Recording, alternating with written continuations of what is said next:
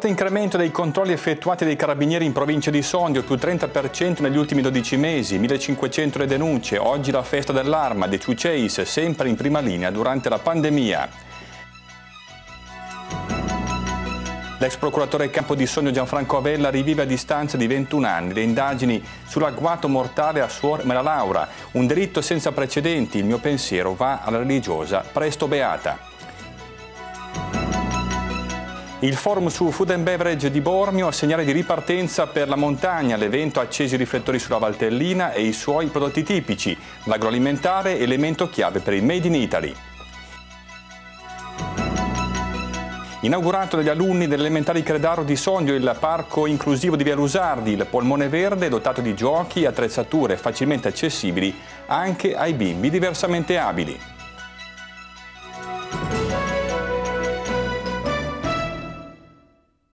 Buonasera, buonasera, a tutti. Sono state quasi 1500 le persone denunciate negli ultimi 12 mesi dai carabinieri della provincia di Sondrio. I controlli attivati sul territorio sono aumentati del 30%. Notevole l'impegno messo in campo dall'Arma per affiancare i cittadini durante la pandemia. Il quadro è emerso oggi durante la festa annuale dei carabinieri. Vediamo. 207 anni di storia per l'Arma dei Carabinieri e un impegno quotidiano a fianco dei cittadini che si è fatto più forte durante la pandemia, come è stato sottolineato oggi a Sondrio, durante la celebrazione austera svoltasi alla presenza del prefetto Salvatore Pasquariello nella caserma Lessi. Nel periodo dal 1 giugno 2020 al 31 maggio scorso, 3.217 i reati perseguiti dall'Arma, il 90% del totale provinciale, aumentati del 30% i servizi esterni che hanno superato quota 12.000. Tra le operazioni più salienti l'arresto di 6 georgiani per furti messi a segno nel nord Italia da parte dei militari della compagnia di Tirano, l'articolata operazione antidroga condotta dalla compagnia di Sondrio che ha smantellato una rete di spaccio nei boschi della Valtartano. Abbiamo avuto un incremento del, delle pattuglie sul territorio eh, proprio perché eh, dovevamo non solo portare assistenza ai cittadini ma anche controllare che non si verificassero eh, particolari reati e che fossero rispettate le norme per il contenimento della pandemia. Anche sul fronte della polizia giudiziaria non, eh, non abbiamo interrotto le nostre attività, lo dimostrano le oltre 1500 persone deferite tra stato d'arresto e stato di libertà, di cui eh, oltre 100 per reati inerenti agli stupefacenti con circa 2 kg di sostanze stupefacenti sequestrate, sia droghe comunemente dette droghe leggere, ma anche sostanze pesanti come eroina e cocaina. 15 mesi di pandemia, uno sforzo straordinario per l'Arma dei Carabinieri. Sì, è stato un periodo certamente difficile per tutti. In questa situazione è stato esaltato il ruolo delle nostre stazioni carabinieri, la funzione sociale dei nostri presidi sul territorio, perché la capillarità con la quale sono distribuite eh, le varie località della nostra provincia eh, di fatto le ha rese in molte situazioni l'unico presidio organizzato dello Stato e questo ha comportato che la, non solo la popolazione ma anche altri enti e istituzioni si sono rivolti a noi non solo per eh, esigenze legate alla sicurezza ma anche per eh, esigenze di altro tipo. Mi viene in mente eh, la, di alcuni medici di un paesino che eh, non riuscivano a causa dei turni eh, molto impegnativi eh, neanche a riuscire a, a mangiare e quindi il nostro comandante di stazione si è organizzato per portargli il pasto. Piuttosto che nel periodo di Pasqua una nostra stazione ha recapitato le uova ad alcuni bambini eh, da parte di un'associazione, oppure nella Domenica delle Palme che abbiamo collaborato per la consegna a domicilio dei ramoscelli d'ulivo,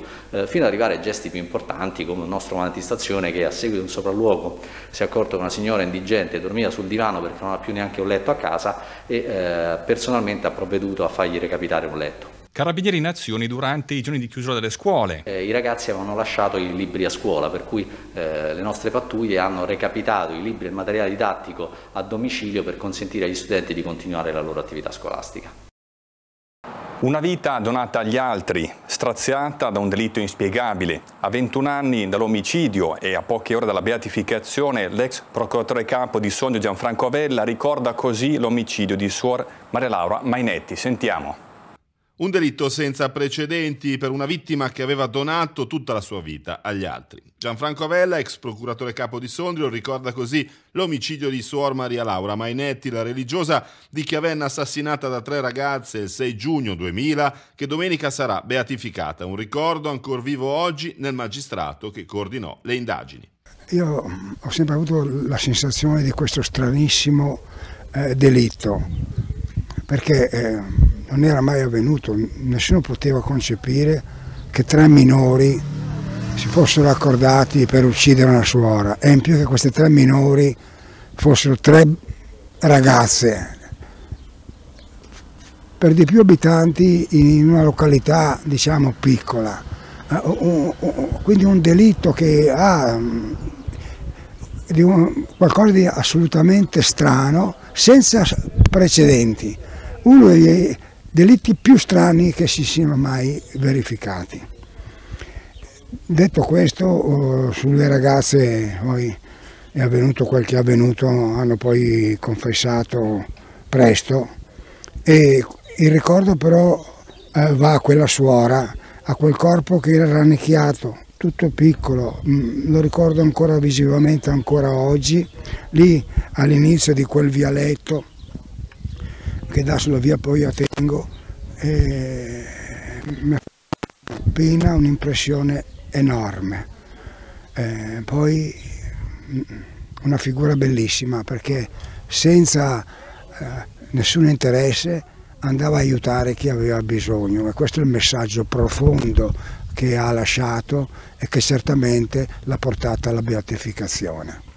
Ha richiamato a Bormio esponenti di spicco del settore agroalimentare italiano che rendono grande il nome del Made in Italy in tutto il mondo. Grande successo per la quinta edizione del forum sul food and beverage che ha acceso i riflettori sulla Valtellina e sulle nostre produzioni tipiche. Vediamo!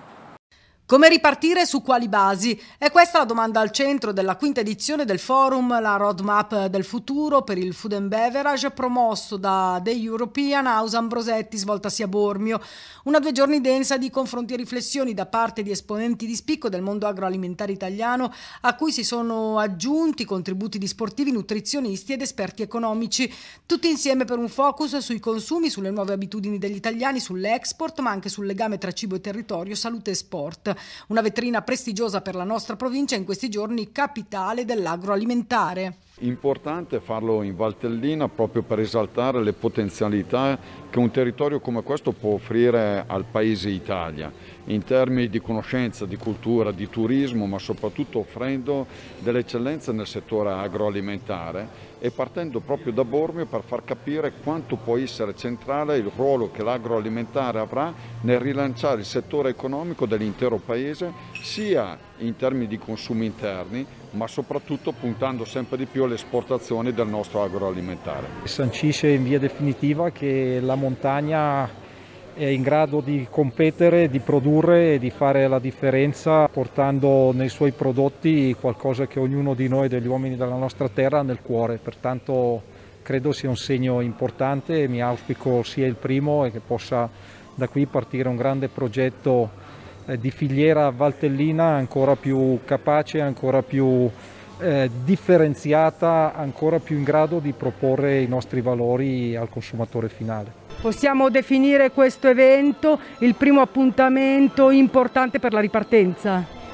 Io direi di sì. Eh, si è già mosso il mercato, stiamo ripartendo, questi eventi servono proprio a, eh, al confronto soprattutto per tutta la filiera per andare uniti non solo qui ma poi anche fuori in tutto il mondo. La ripresa c'è, si vede ed è sostenuta, ci sono però grandissime incognite, grandissime criticità legate naturalmente all'andamento dei mercati in generale, ma il tema delle materie prime che è trasversale su tutti i settori è un tema che desta grande preoccupazione su cui occorre eh, comunque concentrare molta attenzione. Finalmente in presenza direi le più grandi realtà del mondo agroalimentare qui si incontrano proprio per parlare dei temi di, di food, di sana e corretta alimentazione e di stili di vita e quindi un'occasione interessante per fare networking, per conoscere anche le altre realtà del settore italiano più importanti che proprio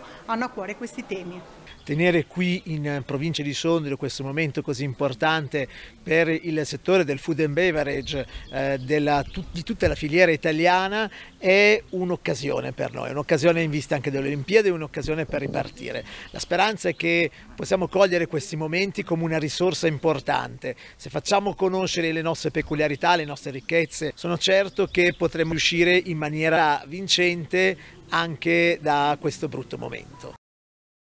Restiamo in Alta Valle, stamattina il passo del Gavi è stato riaperto ed è raggiungibile da entrambi i versanti, a comunicarlo ANAS che nei giorni scorsi aveva avviato le attività di sgombero neve, di pulizia della sede stradale, la rimozione di arbusti pericolosi, la sistemazione della pavimentazione necessaria per il ripristino delle normali condizioni di transitabilità su entrambi i versanti del passo. Il Comune di Livigno annuncia con apposita ordinanza che a partire dalle 6 di lunedì 7 giugno riapre al transito ai mezzi con massa non superiore ai 180 quintali il passo della Forcola. Dopo la riapertura degli spazi interni di bar e ristoranti si registrano già buoni segnali di ripresa. Le persone hanno voglia di uscire, le prenotazioni sono in aumento, ma per tornare a regime attendiamo un ulteriore allentamento delle restrizioni. Così Fabio Valli, Presidente dell'Unione Commercianti del Mandamento di Tirano. Vediamo. Le restrizioni si allentano e l'economia ne sta già beneficiando. Il via libera ai pranzi, alle cene al chiuso e al caffè al banco sono decisivi per la ripresa che non dipende più dalla complicità del bel tempo. C'è ancora il limite massimo di 4 persone al tavolo se non conviventi, ma le norme meno stringenti vedono un aumento delle prenotazioni. Diciamo che un barlume di inizio l'abbiamo già avuto col mese di maggio, però il, ehm, il discorso soprattutto della, del meteo ci ha, ci ha, penalizzato perché soprattutto noi qua, essendo a una certa altezza, abbiamo faticato per le condizioni del meteo a poter lavorare solamente all'esterno. Eh, abbiamo fatto qualche servizio a, a pranzo a mezzogiorno, però la sera era impensabile. Quanto influisce la possibilità di poter eh, mangiare anche all'interno? Potendo adesso servire anche all'interno, gradatamente, pian pianino, stiamo torna- tornando alla normalità. Tant'è che abbiamo notato subito una, un aumento importante delle prenotazioni, sia per quanto riguarda la, la, la ristorazione che per quanto riguarda le prenotazioni del, in albergo per la, per la prossima stagione estiva. Si resta quindi in attesa delle prossime tappe sulla tabella di marcia di Draghi, quella del 7 giugno con il coprifuoco posticipato di un'ora e quella del 14 con l'ingresso della Lombardia in zona bianca. Beh, l'auspicio è di poter tornare sicuramente a un regime normale, che riprenda le nostre attività tutte assieme in, in modo ottimale, che la prossima stagione estiva sia, sia, ricalchi diciamo, i numeri e le presenze di quella dello scorso anno, che nonostante tutto è stata buona, e poi noi soprattutto qua nella Media Valtellina, a Teglio in particolare, Auspichiamo che l'autunno sia come gli anni precedenti, come 2019 e, precedenti appunto perché noi presentando e proponendo nostre, la nostra rassegna enogastronomica Sapori d'autunno e Pizzocro d'Oro, come si sa è la nostra seconda estate, per cui la nostra stagione diciamo che parte già da adesso e si protrae fino alla, alle, soglie, alle soglie dell'inverno. Per cui l'augurio mio e di tutti gli operatori è quello veramente di poter tornare alla normalità, di poter lavorare bene per, per tutto il proseguio della, dell'anno. Un parco dove tutti i bambini sono i benvenuti, nessuno escluso. È stato inaugurato a Sondrio, in via Lusardi, a tenerlo battesimo i bambini della primaria Credaro. La città vuole essere sempre più inclusiva.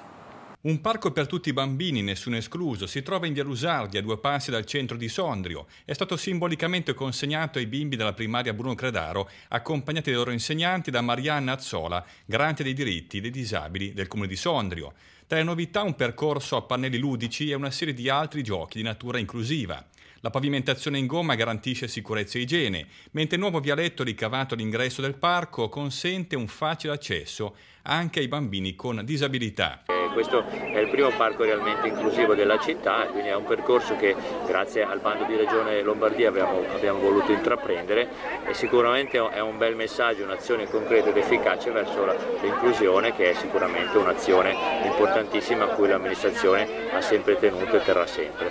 Cosa significa parco inclusivo? Parco inclusivo è un parco dove si possono condividere dei giochi, dove i bambini con diverse abilità, i bambini diciamo normodotati possono eh, giocare incontrarsi. Un intervento da 36.500 euro finanziato per 30.000 euro grazie al contributo ottenuto dalla Regione Lombardia, la parte restante attingendo da fondi comunali. Quest'area di Via Lusardi è da sempre un'area molto importante di gioco in città, ma abbiamo deciso di implementarla e di renderla totalmente inclusiva partecipando al bando, è andata bene, abbiamo ottenuto un finanziamento di 30.000 euro che ci ha permesso di realizzare la nuova pavimentazione e inserire una serie di giochi che garantiscono appunto la piena accessibilità e inclusività a tutti i bambini, quindi anche i bambini che hanno delle, delle difficoltà motorie o intellettive, quindi sono dei giochi sia sensoriali che fisici diciamo, in futuro potremo fare operazioni analoghe anche su altre realtà cittadine. Ho diritto a una famiglia, all'amore, alla meraviglia, ho diritto all'istruzione, al piacere canzone. Una canzone animata eh, nel quale è stata utilizzata anche la lingua dei segni per includere la nostra bambina sordomuta. Stiamo lavorando in questo senso proprio perché lei possa partecipare sempre di più a tutte le nostre iniziative. L'inclusione per noi è ogni giorno un motivo di studio e di ricerca di nuove attività. Cosa ne pensa di questo parco? Bellissimo, guardi, non... è una compagnia per me che sono alla finestra e guardo tutti i bambini. Bellissimo, a Roma i parchi così puliti non ci sono, eh. solamente qua a Sondrio, infatti io da qua non me ne vado più. Bene, siamo in chiusura, vi ricordo l'appuntamento sul web, il nostro sito teleunica.com, lì trovate anche la nostra web tv e la nostra presenza sui social. Buon fine settimana!